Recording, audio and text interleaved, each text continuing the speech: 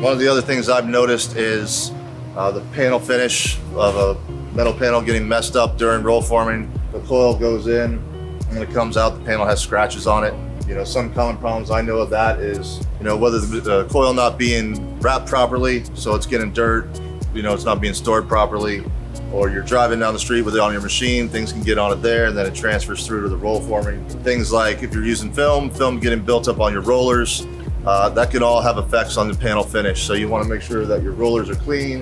You want to make sure the material you're putting into the rollers is clean, and that way the finished product comes out as nice as possible.